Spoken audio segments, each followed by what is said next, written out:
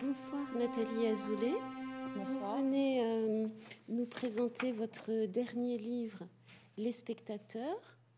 Vous êtes euh, normalienne, euh, agrégée de lettres. Vous êtes écrivain depuis 2002. Vous avez sorti votre premier livre en 2002, puis un bon nombre de livres déjà. Et en 2015, vous avez eu le prix Médicis pour euh, Titus n'aimait pas Bérénice. Un grand succès.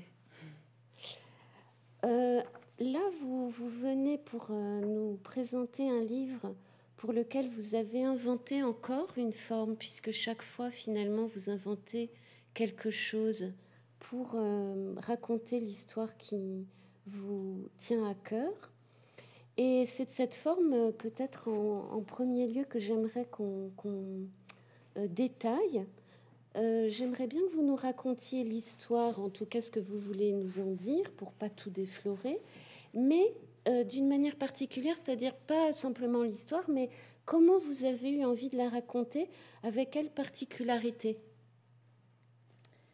Bonsoir, je suis très heureuse d'être ici ce soir et de, répondre aux questions d'Emmanuel. Et, donc à cette question de l'histoire, euh, je répondrai d'une manière euh, un peu délicate, parce que c'est une question délicate. En fait, l'histoire est assez simple si on, va vite à la raconter, c'est-à-dire que c'est l'histoire d'une famille qui, euh, se rassemble devant un écran de télévision pour euh, assister à une conférence de presse du général de Gaulle en 1967. Une famille ordinaire avec deux enfants et deux parents, et qui, à l'occasion donc de cette conférence, va ressentir un très grand bouleversement et une grande sidération. Et d'où le titre que j'ai choisi, qui était d'insister sur leur position de spectateurs devant la télévision, et en particulier euh, sur un personnage qui est en fait le, fil conducteur de cette histoire, qui est un petit garçon de 13 ans.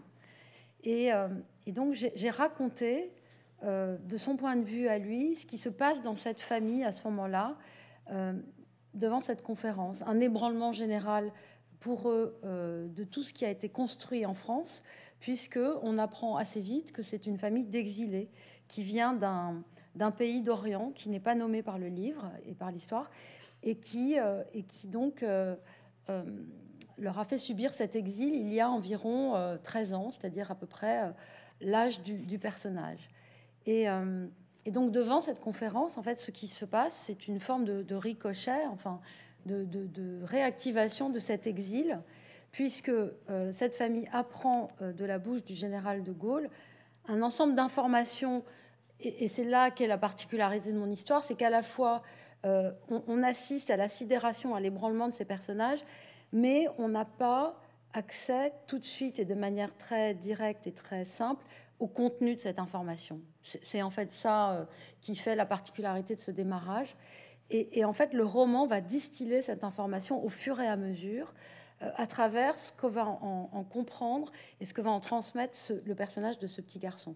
Donc, pour revenir et pour pas vous perdre, donc ce petit garçon euh, au milieu de cette famille apprend une chose sidérante pour lui et pour ses parents. Et donc, cette chose sidérante va le remettre en, en contact avec ce que ses parents ont vécu lors de leur premier exil. Mais lui, évidemment, n'était pas né lors de ce premier exil et il n'en sait pas grand-chose. Et en fait, devant cette conférence de presse, il veut savoir ce qui s'est passé. En fait, c'est ça que ça déclenche. Plus que l'information qui est donnée par la bouche du général de Gaulle, ce que raconte ce roman, c'est la sidération et c'est l'enquête que va mener cet enfant de 13 ans pour essayer de savoir ce qui s'est passé la première fois dans la vie de ses parents. Et en fait, naïvement, ce que, ce que cet enfant croit, c'est que en comprenant exactement ce qui s'est passé dans la vie de ses parents au moment de ce premier exil qui a eu lieu dans les années 50, il va pouvoir euh, faire face à cette sidération. Parce qu'en fait, cette sidération, quelle est-elle? C'est que il a l'impression que de nouveau, ils vont devoir aller en exil. De nouveau, ils vont devoir quitter leur pays, et, qui est son pays natal à lui, puisqu'il est né en France. Et de nouveau, ils vont devoir se réorganiser entièrement pour habiter ailleurs. Et c'est cet ébranlement-là, en fait, que raconte ce roman. Et donc, naïvement, il pense qu'en apprenant la manière dont s'est passé ce premier exil, il pourra s'armer pour affronter ce deuxième exil. C'est une croyance tout à fait illusoire, mais qui est une croyance d'enfant. Et, d'où euh, la manière qu'il a de harceler ses parents et en particulier sa mère pour qu'elle lui donne des détails très concrets sur quand est-ce qu'on comprend qu'on doit partir. Pourquoi est-ce qu'on part d'abord? Pour Quand est-ce qu'on comprend? Quel jour on comprend exactement et quel jour on prend cette décision qui est tellement énorme?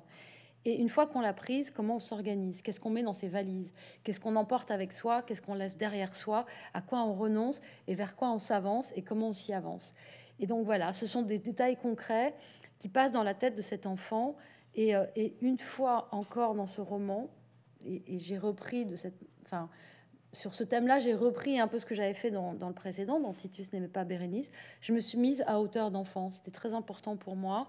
J'ai inventé une nouvelle forme, comme, vous le disiez, mais, j'ai gardé ce point de vue d'enfant qui est euh, sans doute un point de vue très, important pour moi. Je ne sais pas très bien pourquoi.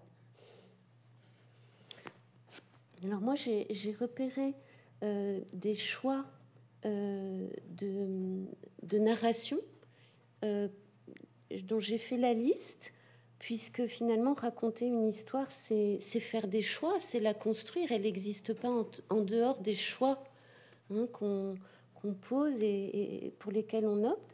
Alors bien sûr, ben, le premier choix, c'est que tout est vu du point de vue du petit garçon, et je me demandais si ça avait toujours été facile à maintenir. Il y a un autre choix qui est très, très étonnant, très déroutant, c'est que euh, les personnages de la famille, pas les personnages secondaires, mais les personnages de la famille ne sont jamais nommés, alors que euh, on nous parle de leur nom et presque, je trouve, vous nous narguez un peu parce que vous nous dites qu'il aime pas son prénom, qu'il a un tréma sur son prénom, qu'il a un S, mais enfin, pour finir, vous n'allez pas nous donner la clé de l'énigme. Euh, vous, vous poussez la question de la nomination assez loin, puisqu'il n'appelle pas ses parents papa, maman. Non, si, il y a cette thématique. Vous ne nous dites pas de quel pays ils viennent. Bon, il y a une fin de chapitre qui parle de, la couleur eau du Nil, donc qui nous donnerait peut-être un indice, mais enfin, peut-être que c'est, ça n'a rien à voir. Euh, vous ne nous dites pas de quelle culture ils sont, ni pourquoi ils ont été chassés donc on ne sait pas. Euh, vous ne nous dites pas ce qu'a dit le général de Gaulle, enfin en tout cas vous ne le dites pas euh, directement. Vous ne mettez pas de tiret quand vous faites des dialogues et vous ne revenez pas à la ligne. Euh, vous ne nous donnez pas beaucoup d'indications temporelles puisque vous revenez beaucoup au présent.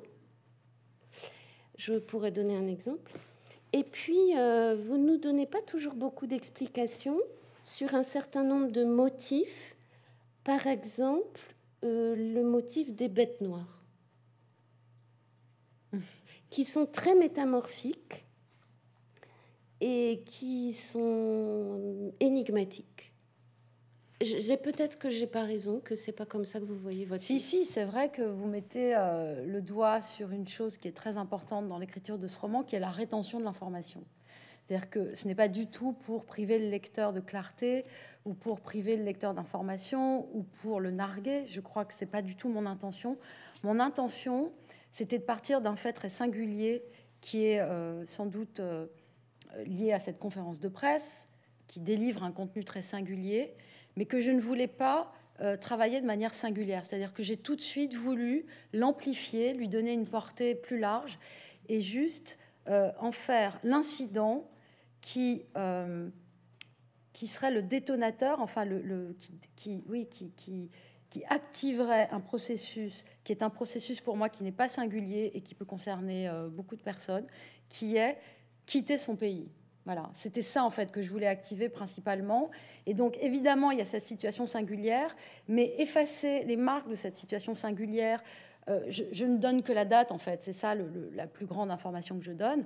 Mais c'est vrai qu'après, je floute beaucoup les, faits.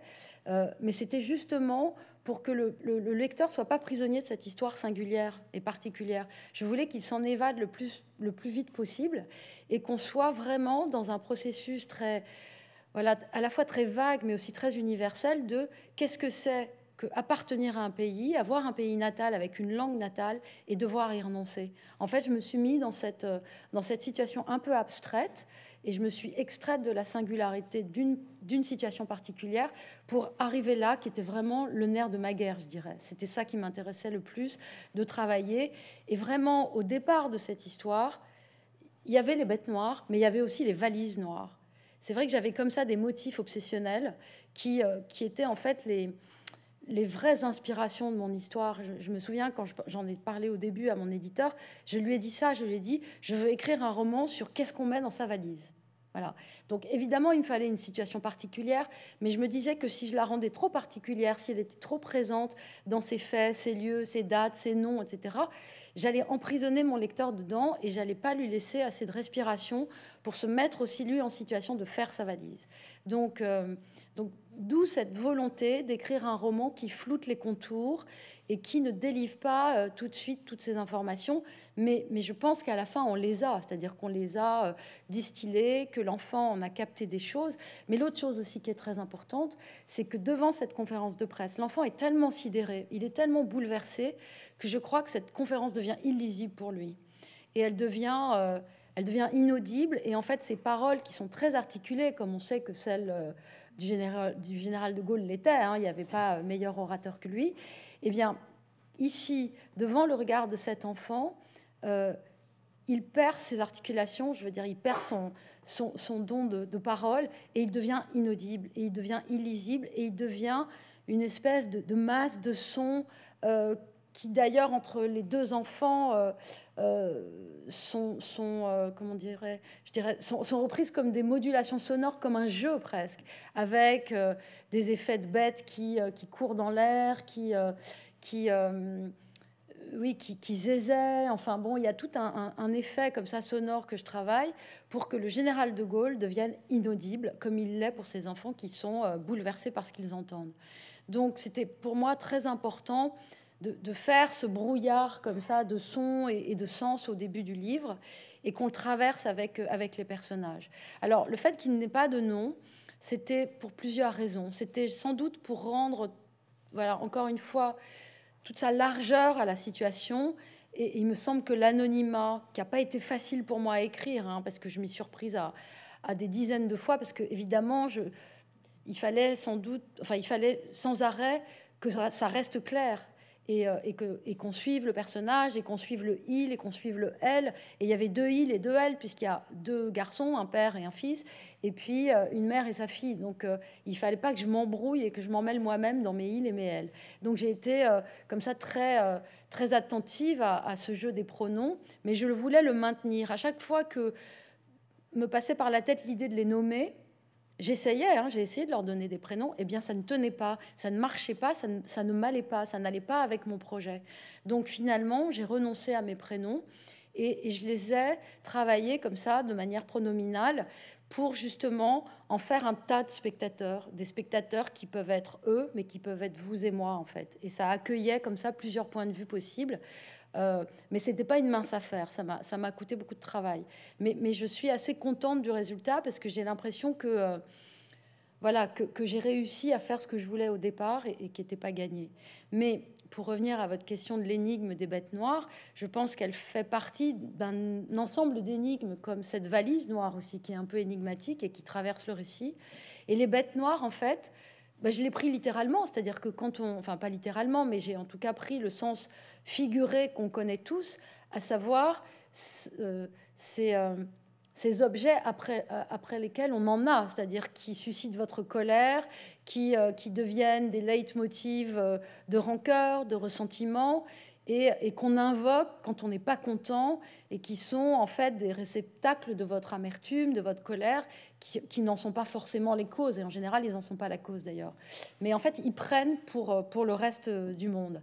Et donc ces bêtes noires sont euh, des motifs qui sont travaillés euh, dans le récit entre le père et le fils. C'est-à-dire que le fils a identifié que le père avait des bêtes noires. Et donc euh, le, père s'en prend à des personnages qui sont d'ailleurs des personnages de l'histoire réelle, hein, comme Raymond Aron. que, pour lequel je n'ai rien inventé, qui est, est nommé pour le coup, et, qui, est une des bêtes noires de ce père. Et, le fils est fasciné par le fait que euh, le père ait des bêtes noires. Mais de la même façon qu'il est fasciné par le fait que sa mère ait des bêtes rouges et qui sont d'un tout autre ordre, mais qui sont, euh, pour moi, euh, dans ce roman-là, une manière de, travailler l'animalité. C'est vrai que l'animal est très présent dans ce roman, qu'on a ce personnage de petite sœur qui est un personnage vissé au sol parce qu'elle ne marche pas, elle a un problème physique et un problème osseux qui fait qu'elle ne peut pas se tenir debout et elle rampe, et elle rampe beaucoup. Euh, et, c'était pour moi très important de travailler cette famille à la fois comme des spectateurs humains, mais aussi comme des spectateurs dégradés par ce qui leur arrive, parce que ce qu'ils subissent devant ce poste de télévision est dégradant pour eux, puisqu'ils vont peut-être devoir quitter leur pays de nouveau. Et, donc, cette dégradation est aussi une indignité et une dégradation de leur statut euh, d'êtres humains. Et donc, l'animal et le relais, enfin, et la manière que j'avais d'exprimer aussi cette, euh, cette indignité qu'ils ressentent. Euh, page 131, comme si tous les êtres humains avaient des bêtes noires à maudire, jour après jour, pour ne pas mollir, ne pas faiblir, inlassablement substituer la colère au désespoir. Oui, c'est ça, c'est que le père est tellement désespéré et la famille tout entière par cet événement auquel ils assistent devant cet écran de télé que euh, eh bien, il faut que leur colère passe quelque part et qu'elles s'en prennent à des, bah, ce qu'on peut appeler des, euh, des boucs émissaires. Enfin, là, c'est n'est pas vraiment des boucs émissaires, mais c'est des victimes. Et, en tout cas, oui, des, réceptacles de la colère et des, des objets qui prennent. Et, c'est exactement ça, oui. C'est-à-dire qu'ils sont si désespérés qu'ils sont en colère à la place. Alors, il y a un autre euh, élément qui, euh, qui nous éblouit dans, votre roman, qui, qui, nous, qui nous en met plein la vue, qui nous, qui nous interroge et puis qui, qui nous charme, c'est euh, une idée très originale aussi, c'est que la mère, que j'appellerais une mère plutôt agitée, hein, puisque c'était votre premier livre, Mère agitée, est absolument folle de stars américaines des années 40 et en particulier de leurs robes. Et alors, elle, elle a de la chance, elle s'est trouvée une couturière pratiquement à domicile, enfin à quelques étages, elle a sa couturière pratiquement attitrée. Et alors là, euh, les robes, euh, ça prend une, une, importance extraordinaire. Alors, j'ai relevé quelques éléments, mais je vous laisse en parler d'abord, puis on, verra si on peut lire quelques passages.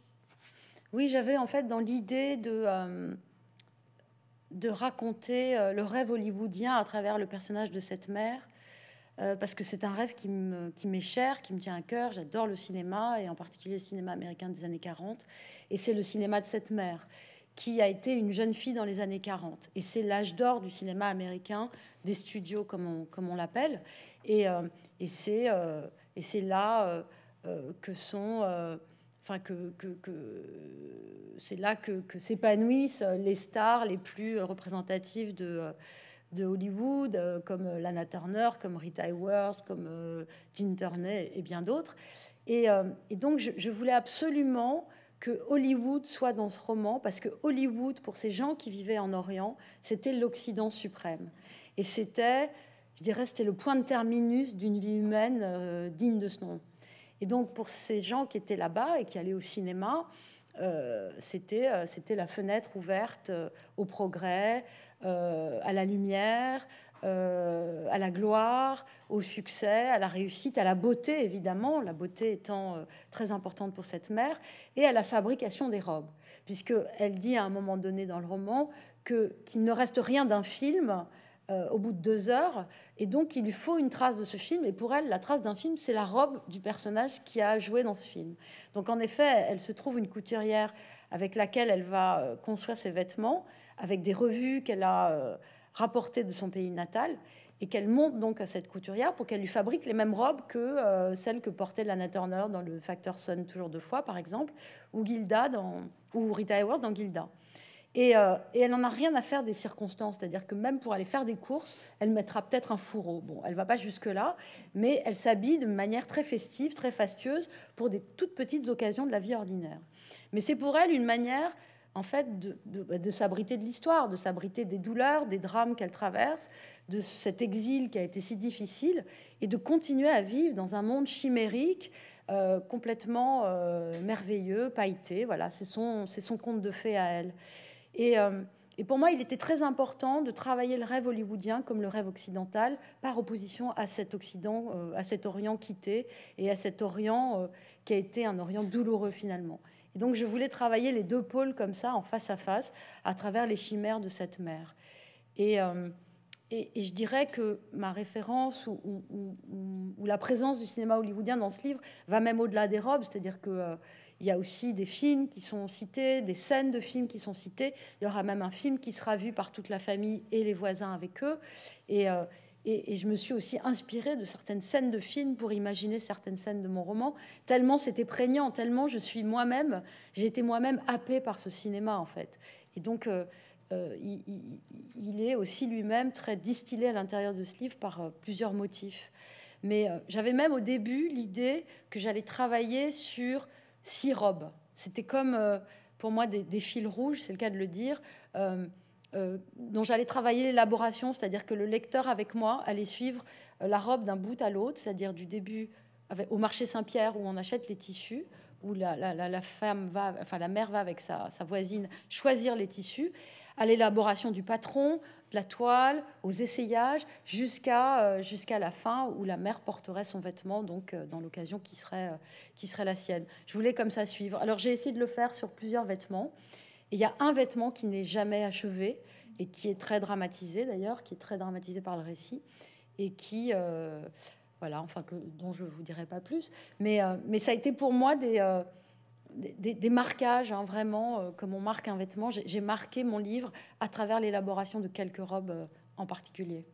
Et j'avais sans arrêt les photos des robes sous les yeux que je suis allée chercher dans des archives, etc. Et, j'ai essayé de les décrire aussi précisément que possible. Moi qui ne connais rien à la couture, je sais pas coudre un bouton quasiment. Donc euh, je me suis inventé une vie de couturière à travers ce roman. Mais en passant par le cinéma, en fait, ce qui m'intéressait plus, c'était pas tellement la couture, c'était la costumière plutôt que la couturière. C'est-à-dire que Maria, qui est le personnage donc qui fait les robes pour cette femme, pour cette mère, devient une costumière comme on a sa costumière à Hollywood dans les années 40, c'est-à-dire une femme confidente qui connaît votre corps par cœur, qui connaît vos problèmes de, de, poids par cœur, qui connaît vos défauts par cœur et qui est là pour les camoufler et vous rendre aussi belle que possible. Et pour moi, c'était une manière de revisiter aussi la relation de la confidence par exemple, dans le théâtre classique, je l'ai retravaillé là à l'occasion de ce duo euh, entre la mère et sa costumière, et de donner au vêtement une place dramatique, c'est-à-dire que le vêtement porte le personnage et raconte et raconte l'histoire aussi bien qu'une scène, euh, euh, qu'une autre scène, c'est-à-dire l'élaboration du vêtement est elle-même un lieu et, une occasion dramatique.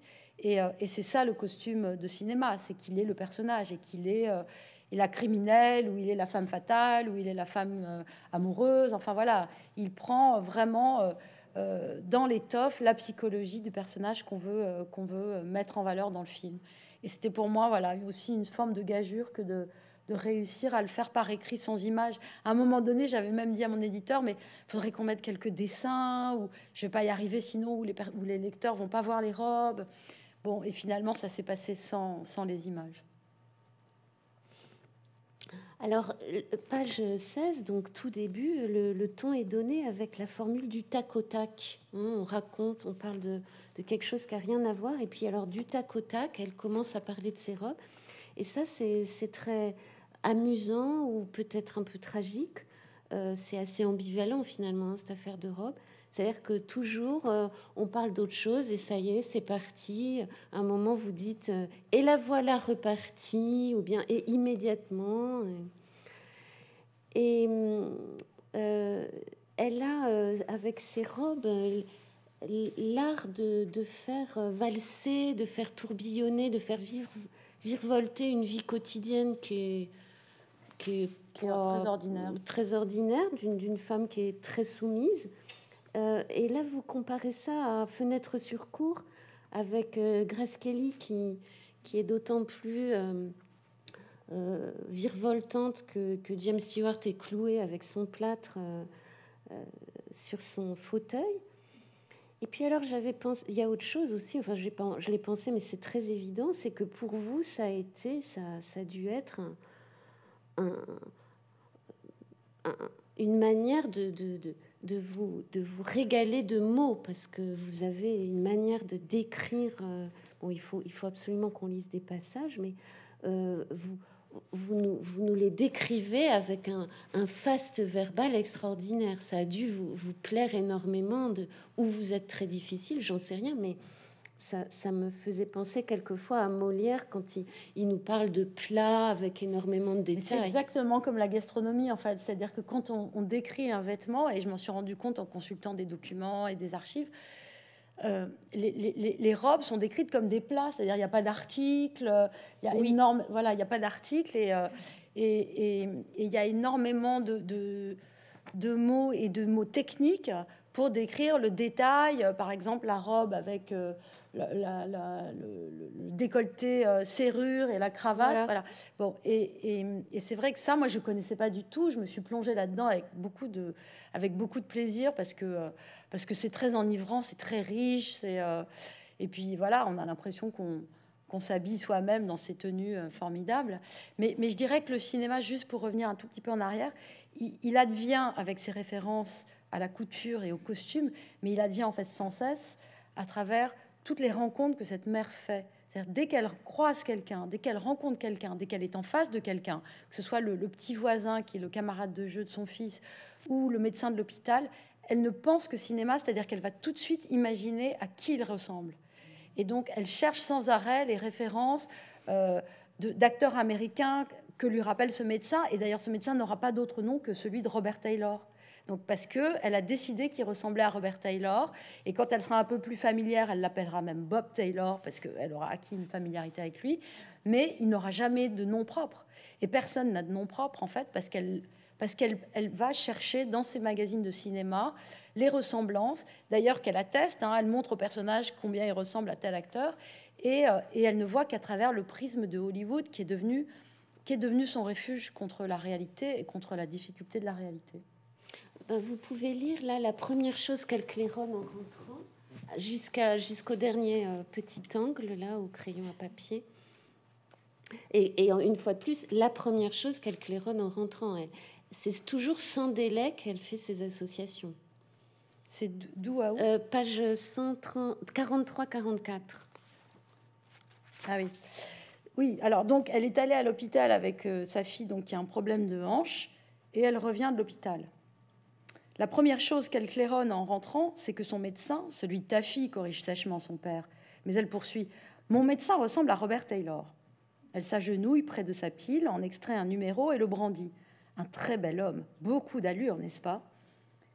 Il ne sait pas si elle se venge de la défection de son père ou si elle fait fondre l'inquiétude sous le charme, puisque à la fin de, la consultation, le médecin a prescrit toute une batterie d'examens.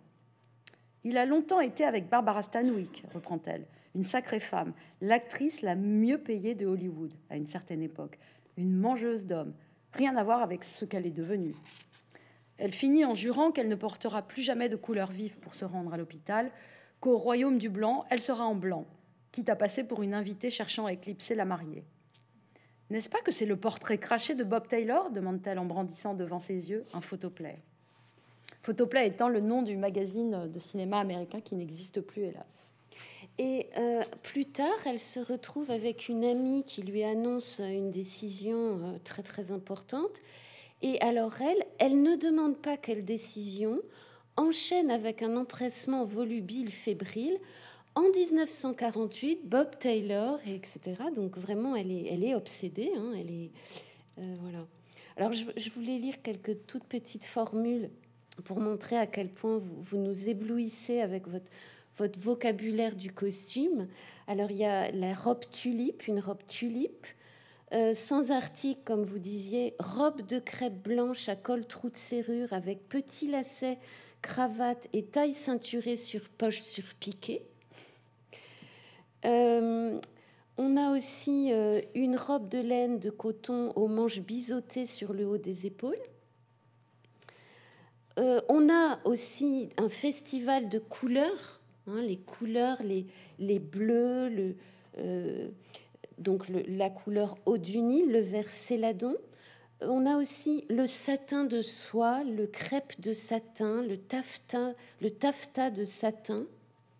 Et puis alors, il y a, l'apothéose, là c'est euh, à peu près au milieu du livre. Alors là, c'est la, c'est la très très belle robe, une robe euh, extraordinaire, malheureusement qu'elle n'a qu'elle a pas pu emporter. Alors on pourrait lire euh, cette robe pour montrer à, nos auditeurs à quel point vous avez poussé loin la, la description et puis à quel point c'est tout simplement très très beau. 166, 168. Je vous propose de lire euh, de là à là, puis après de là au, crochet suivant. «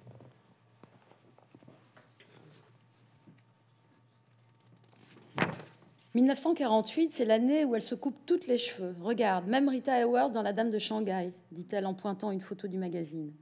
Elle se rassoit sur le canapé, près de lui, feuillette délicatement les pages. Je m'étais fait faire cette robe du soir, un modèle de 1948. Ce n'est pas une si mauvaise année finalement. La robe était en jersey de soie ivoire avec de fines étoiles brodées sur le buste. Regarde, on les voit un peu. Son doigt suit chaque chose qu'elle décrit, les découpe à la taille et ensuite jusqu'en bas les plis très serrés, infiniment serrés. Ce n'étaient pas de simples étoiles, mais des étoiles de mer avec des branches fines et courbes sur toute leur longueur, comme lorsqu'on les voit dans l'eau et entièrement brodées à la main. Là-bas, on avait le temps et l'argent pour de pareilles merveilles. On pouvait passer des heures chez la couturière, qui elle-même allait chez la brodeuse, le plisseur, exactement comme dans les années 30 à Hollywood.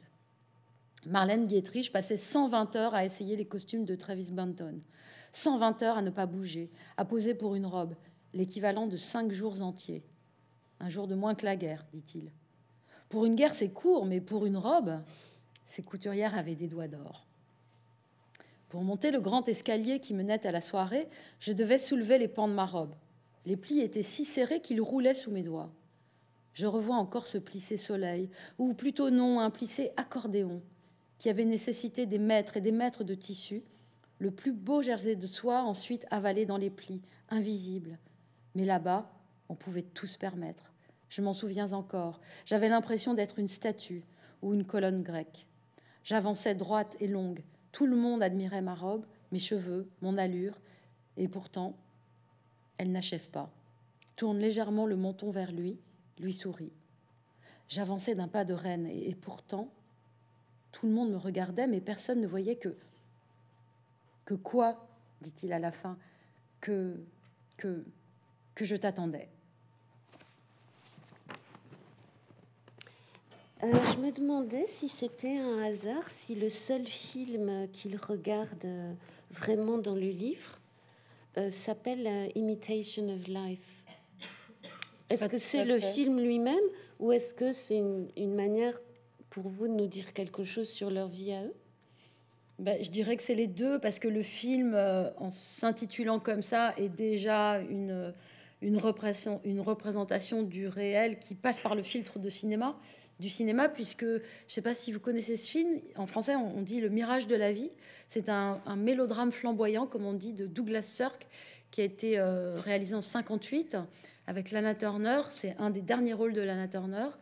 Et c'est un film euh, devant lequel on ne peut pas ne pas pleurer. C'est-à-dire qu'il euh, est crève-cœur et on y verse vraiment toutes les larmes de son corps parce que c'est l'histoire donc d'une actrice de cinéma qui devient une star de cinéma et qui a une fille unique et qui a une gouvernante qui s'appelle Annie, qui est noire.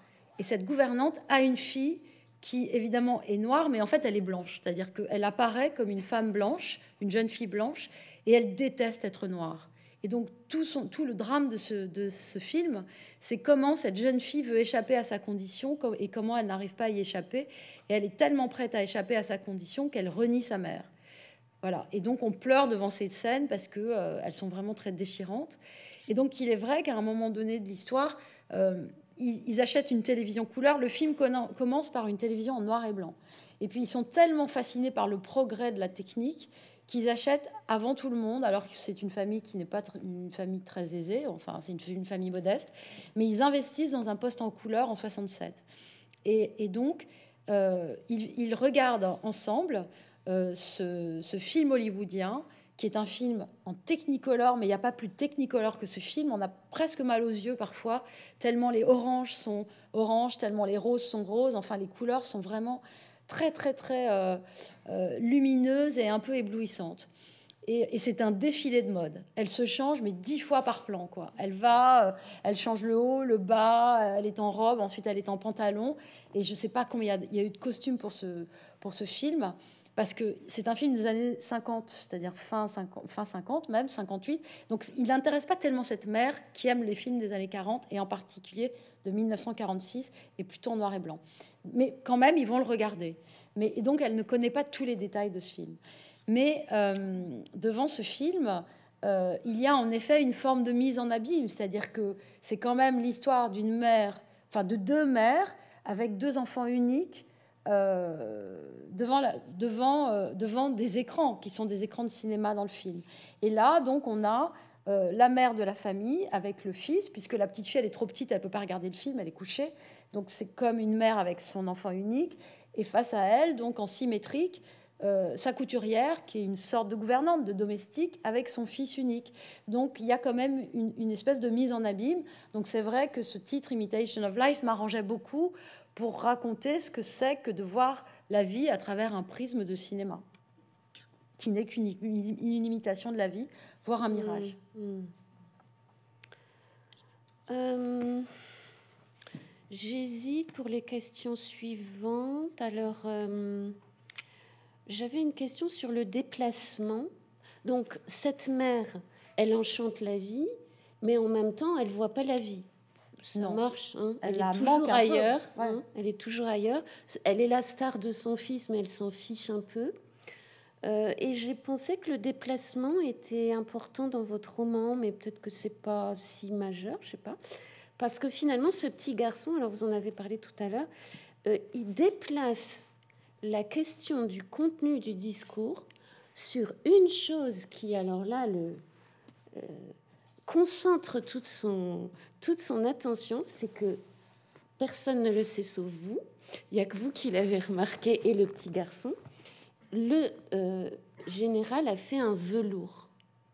Et alors ce velours prend toute la place. Et donc je me demandais si vous aviez une théorie du déplacement dans la psychologie humaine ou si c'était un élément euh, puisque je voyais deux, deux, déplacements majeurs dans votre roman, la mère sur les robes et l'enfant sur ce velours. Mais bon, il faut que vous expliquiez d'abord ce que c'est qu'un velours, ce que la mère d'ailleurs ne sait pas tant que son fils ne lui a pas expliqué. Je me demande si d'ailleurs j'ai pas fait un film avec autant de robes parce que le mot, le, le, phénomène s'appelait un velours.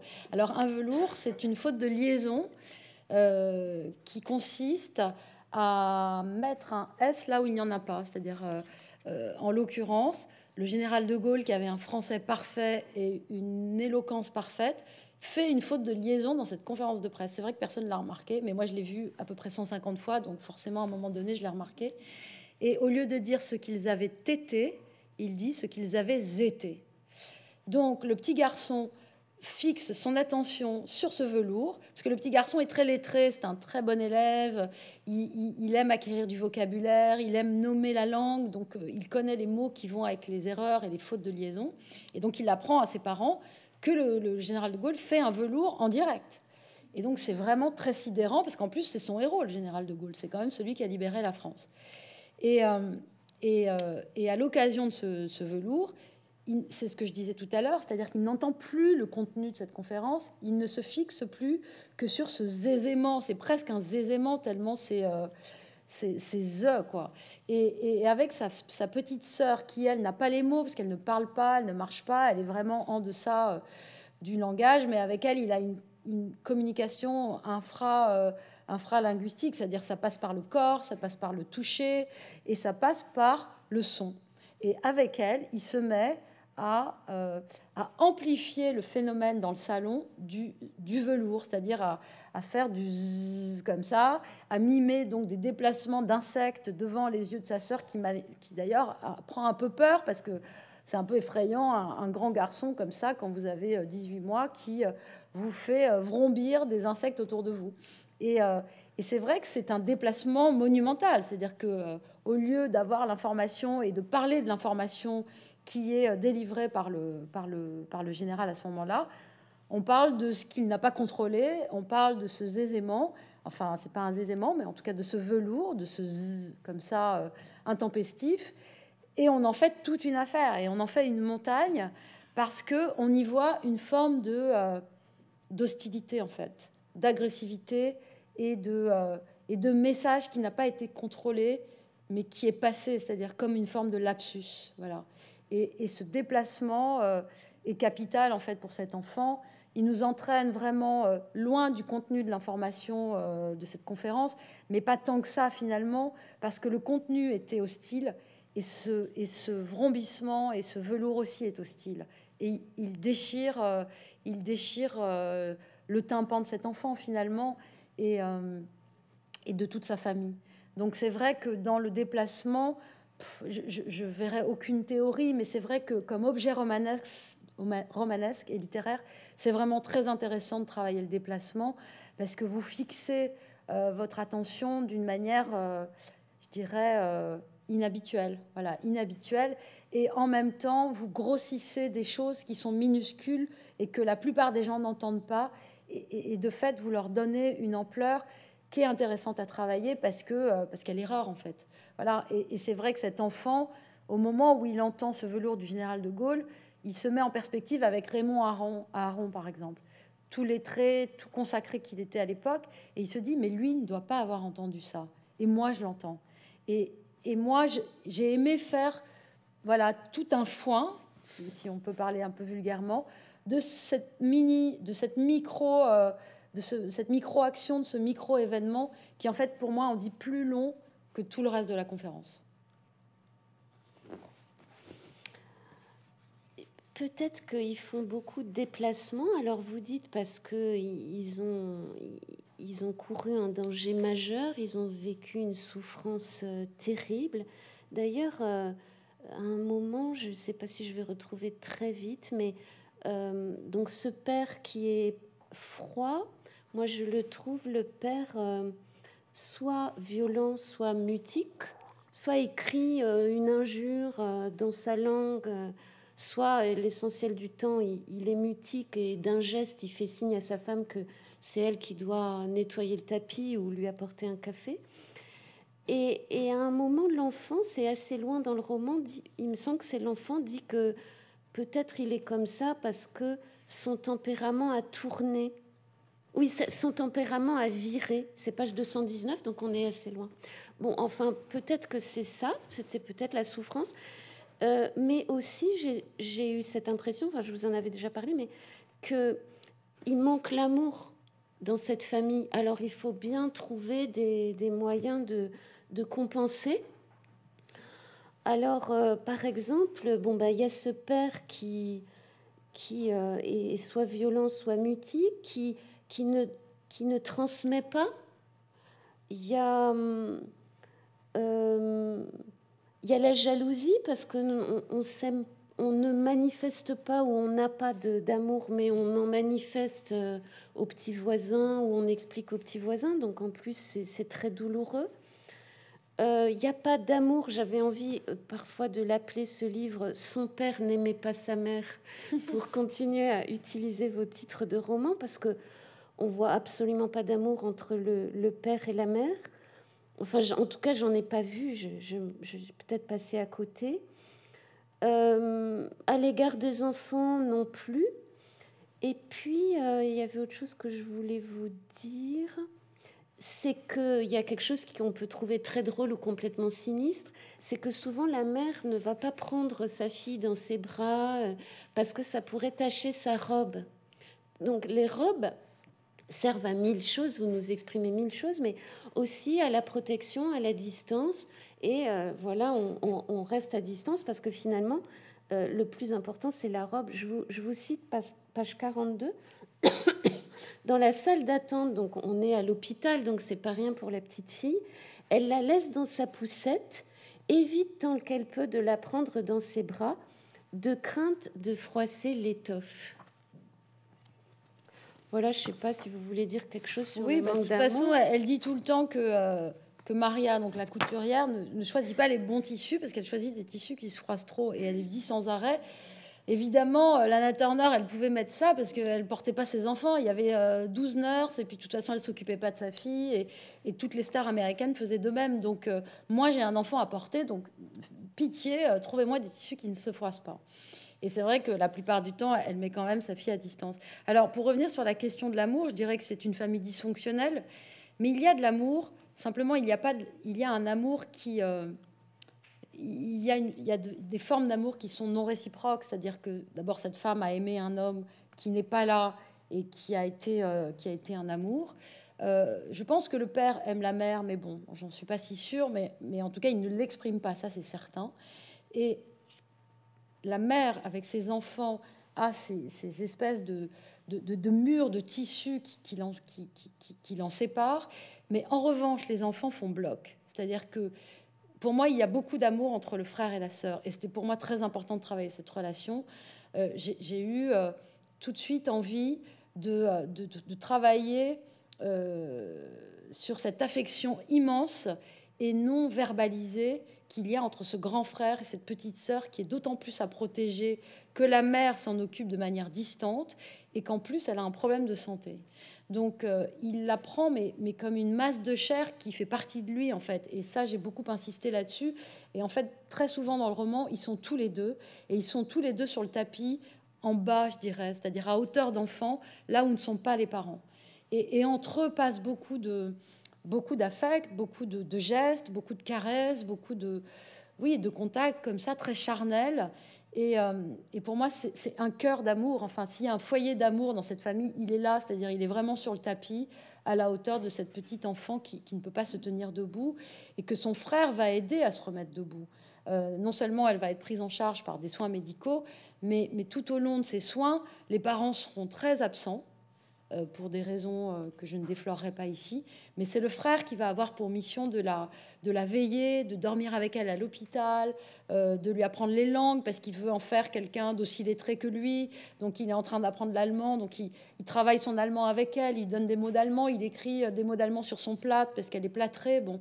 Et, et donc il va, il va être son tuteur en fait, il va être celui qui va la remettre debout. Et le roman va vers cet avenir du frère et la sœur euh, du frère et de la sœur qui, eux, sont, euh, bon, sont la réparation de l'exil qui a blessé les parents, en fait. Hein. C'est vraiment comme ça que j'ai travaillé. Et ils vont vers, euh, oui, vers, vers, une promesse d'avenir qui est, qui est plus florissante que, que, que le présent des parents. Donc, pour moi, l'amour est là, en fait. Je peux faire une objection? Je sais pas, parce qu'il l'aime parce qu'elle n'est rien. Elle ne fait que répéter son prénom, elle, ne, elle rit tout le temps, elle n'a pas de personnalité, elle est, elle est un doudou. À un moment, euh, il dit, vous dites que euh, elle, euh, elle lui donne une contenance, elle se laisse totalement faire, elle apprend les mots qu'il lui dit, elle n'a donc ça n'est pas une relation. Donc moi, l'amour, je le vois pas comme quelque chose qui relie une personne constituée et une personne totalement dépendante et, euh, totalement sans résistance. Mais vous, oui, peut-être. Oui, moi j'y vois quand même. Euh, non, non, mais moi j'y vois une tendresse immense. D'ailleurs, euh, au début du livre, on, parle du, du, quartier où il y a d'autres enfants. Et, et, lui a toujours honte de dire qu'il doit s'occuper de sa petite sœur, mais en fait, il adore s'occuper de sa petite sœur.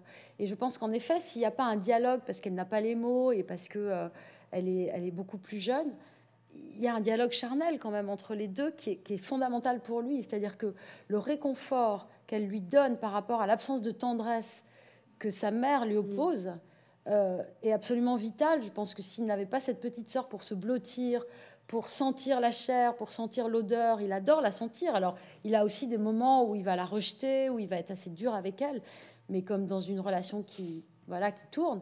Mais, en tout cas, elle est une forme de compensation euh, totale à la tendresse que sa mère ne lui donne pas, parce que sa mère, elle a toujours autre chose à faire que de rester avec lui. Soit elle doit aller euh, servir son père, soit elle doit aller se faire faire les robes.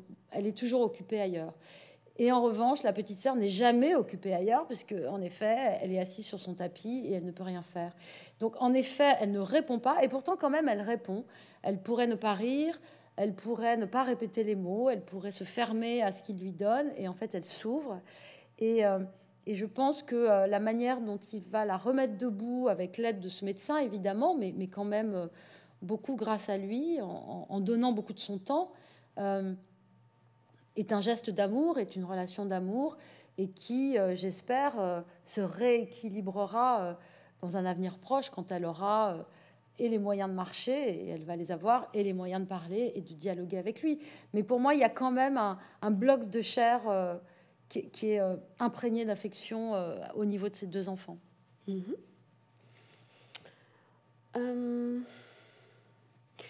J'ai encore beaucoup de questions et pas beaucoup, on n'a pas beaucoup de temps. Alors, je vous l'ai dit, et puis vous choisissez. J'avais pensé que vous pourriez nous parler de Maria, qui a des, des fonctions tellement variées que vous pourriez nous parler de la langue. On a parlé de, de, la manière de mettre en mots les robes, mais la langue apparaît à la fois comme thème et puis bien sûr euh, euh, comme euh, moyen.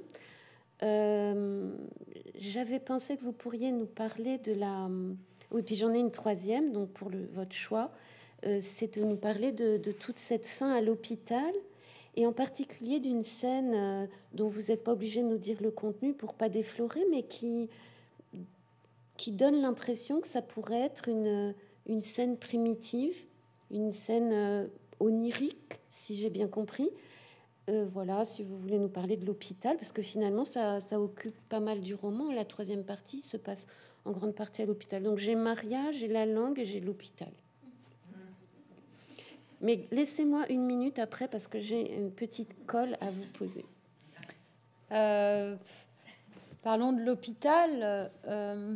C'est vrai que c'est la, troisième partie tout entière du livre et qu'elle est, c'est un, et ça, va devenir la deuxième maison en fait de, cette famille et en particulier de ses enfants, euh, où ils vont se retrouver tous les deux parce que les parents n'y seront que très peu et, euh, tous les deux dans une chambre entièrement blanche euh, où, où, donc la petite fille va subir un certain nombre de soins et, et le garçon la veiller et et je dirais la divertir pour que, pour que la vie soit moins difficile pour elle, parce qu'elle est quand même clouée au lit avec des, kilos de plâtre. Euh, et, et, à ce moment-là, en fait, ce qui était important pour moi, c'était de nouer cette relation euh, frère-sœur encore plus et sans les parents, parce que je pense qu'ils ont leur autonomie tous les deux ensemble. Et puis de faire de ce garçon, en fait, le porteur d'un avenir qui va surmonter en fait l'épreuve du bouleversement. Hein. Il, a été sidéré par ce qu'il a vu, entendu, mais, mais, il va surmonter et il va euh, retrouver et l'élan et, et, et, le mouvement vers l'avenir et une forme de confiance et grâce à, aussi à cette guérison qui va pouvoir advenir pour sa sœur. Donc, euh, c'était pour moi important de, euh, d'ancrer cette partie euh, dans un autre espace, un, autre espace et un autre temps aussi, puisqu'on revient à l'année 67, voire 68 à ce moment-là. Et,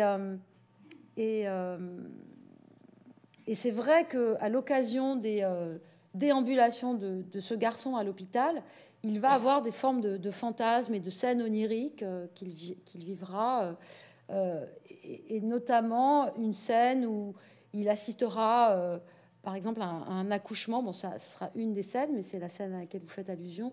Et pour moi, c'était très important, en fait. À la fois, c'est une scène très sauvage, hein, parce que pour un enfant de cet âge-là, assister à un accouchement, je pense que c'est c'est très très sauvage, ça peut être même très violent, mais il ne va pas le, vivre sur ce mode-là. En fait, au moment où ça se passe, bon, peut-être que ça fait, euh, euh, c'est peut-être la scène primitive qui ne lui sera jamais donnée dans l'exil, c'est-à-dire qu'il n'aura peut-être jamais la réponse à la manière dont l'exil s'est passé, et que là, il y a une forme de, compensation. Il a aussi un doute sur sa propre origine. Hein. Il ne sait pas. Euh, il y a un moment donné où l'identité, sa propre identité, va trembler il va, il va douter de qui est son père. Hein. Ça va être aussi un des fils de ce roman. Et donc, assister à un accouchement, c'est se remettre aussi au contact de ce doute et peut-être d'une forme de réassurance, puisque euh, à ce moment-là, on sait, euh, enfin, voilà, l'origine est, très, est très certaine. Et, il, est, il est tellement happé par cette scène qu'il en fait aussi une forme de scène primitive pour comprendre ce que c'est que le cinéma. C'est-à-dire que il dit à un moment donné que euh, que les femmes, et en particulier sa mère, hein, parce que c'est sa mère la plus grande énigme quand même, euh, est peut-être toujours obligée de se mettre devant des écrans et devant des écrans de cinéma et d'être une spectatrice, parce qu'elle n'a pas accès à l'image fondamentale qui serait de voir un enfant naître. Voilà. Et il y a cette hypothèse qui se forme dans la tête de ce drôle d'enfant quand même, qui est que peut-être les femmes euh, aiment tellement le cinéma parce qu'elles ont besoin de voir des images et qu'il leur manque toujours une image qui est peut-être la naissance de leur enfant. Et en fait, c'est à lui que manque cette image. Donc c'est pour ça que j'ai donné tant d'importance à cette scène onirique. C'était pour raconter aussi le cinéma de ce point de vue-là et, euh, les, hypothèses folles que fait cet enfant, qui sont peut-être pas si folles d'ailleurs, mais, euh, mais qui en fait sont, quand même très singulières. Et, euh, et, voilà. Et donc ça devient aussi, je dirais, la naissance du cinéma, cette, cette scène primitive. Hmm. Ah ben on a on a quatre minutes. On peut, on peut donner deux minutes à Maria ou, même bah, Maria, elle m'intéressait parce que c'était un autre exil. C'est une femme qui vient du Portugal, euh, qui vit en France depuis plusieurs années, qui est une femme seule avec son fils, qui a donc ce rapport euh, euh, quand même très subalterne à cette mère et en même temps très intime parce que parce qu'elle la connaît par cœur et c'est elle qui va recueillir les confidences et qui va savoir vraiment ce qui s'est passé au moment de quitter le pays natal. Et donc avec elle, elle partage ben, l'expérience de l'exil, hein, elle en a vécu aussi un, mais, euh, mais elle est quand même entièrement soumise à cette femme et entièrement dévouée. Et elle a beau la rabrouer euh, moralement parce qu'elle trouve qu'elle s'habille d'une manière euh, ostentatoire, parce qu'elle trouve que de temps en temps, elle est quand même un peu trop délurée dans ses tenues pour aller à l'école, voir le proviseur de son fils, bon, et, qu'elle pourrait faire un effort. Et il n'empêche qu'elle lui fait ses robes et qu'elle obtempère toujours et que elle est soumise à son autorité. Donc c'était pour moi intéressant de travailler cette relation dans le sens d'une extrême intimité, mais aussi d'une forme de domination. Et d'ailleurs, toutes les relations dans cette famille et dans ce livre sont travaillées par la domination, de même que le personnage principal du garçon a ce camarade de jeu qu'il aime beaucoup, hein, qui est très proche de lui, qui s'appelle Pepito, qui est le fils de Maria, mais sur lequel il exerce aussi une forme de sadisme. Et ce que vous disiez tout à l'heure de la relation euh, frère et sœur, elle est traversée par cette domination aussi, cette relation, mais ça n'empêche pas l'amour pour moi, en fait, parce que j'ai l'impression d'avoir toujours, euh, de toute façon, euh, une vision assez ambivalente des relations humaines. Je pense qu'elles sont travaillées par l'affect, l'affection et l'amour, au même titre qu'elles sont travaillées par l'hostilité, l'animosité, la jalousie et le ressentiment, et que les relations dans, la vie, euh, dans la vie des humains tourne sans arrêt.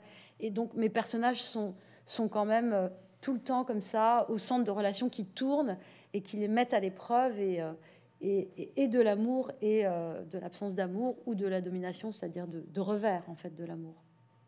Je cherche un des petits passages que j'ai relevés où vous justement vous donnez aussi aux robes une fonction de domination, une fonction de distinction sociale. Euh, un passage où elle dit, euh, elle parle des gens qui les envient à son mari, et il dit bah, pourquoi est-ce que les gens nous envieraient?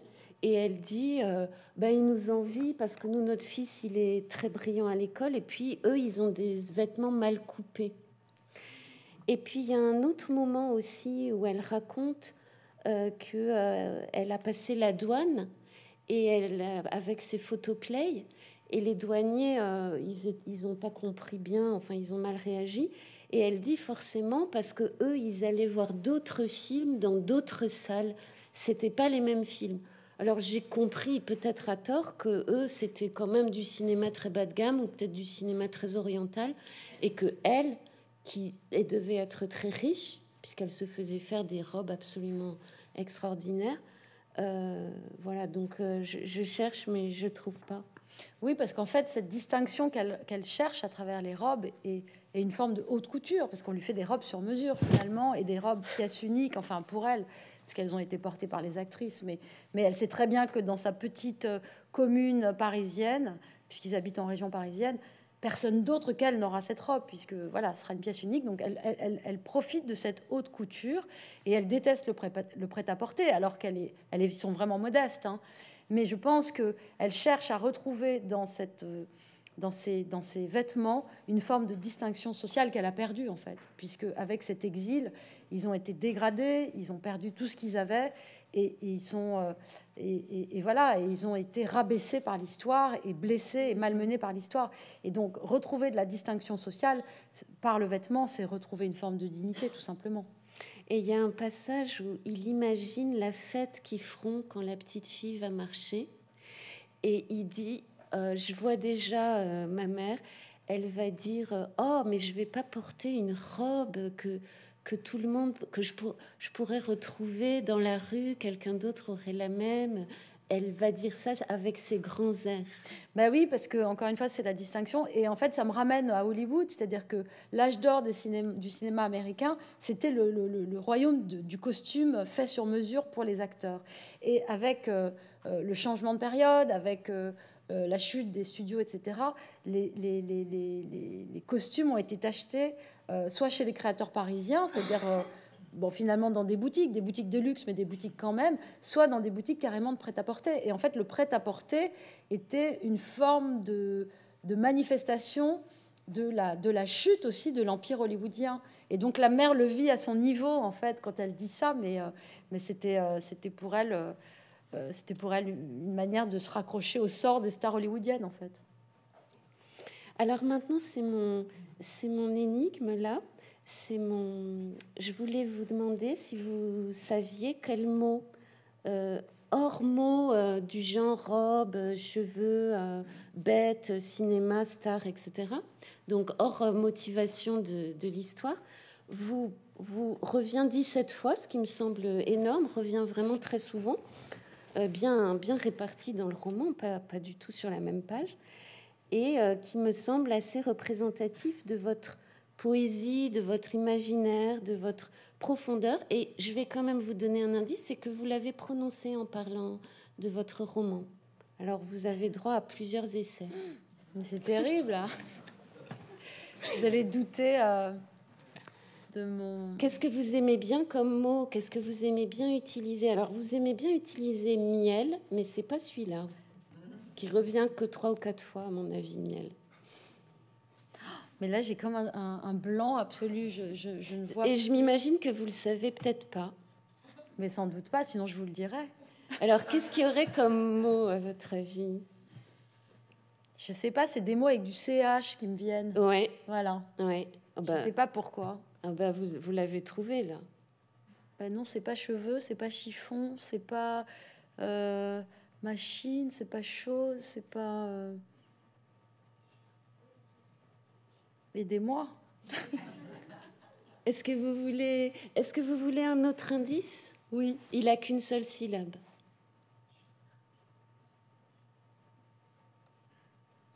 C'est pas chou?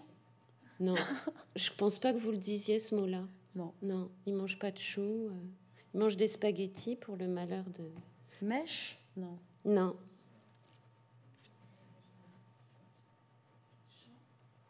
Eh ben, c'est, je vous le dis, vous donnez votre langue au chat, c'est le mot cher. Ah Ouais. C'est hier. Hmm, la chair. En tout cas, je, crois qu'on arrive à la fin de la présentation. Donc, je vous remercie beaucoup pour votre attention, votre écoute et, vos questions. Et, j'espère une prochaine fois.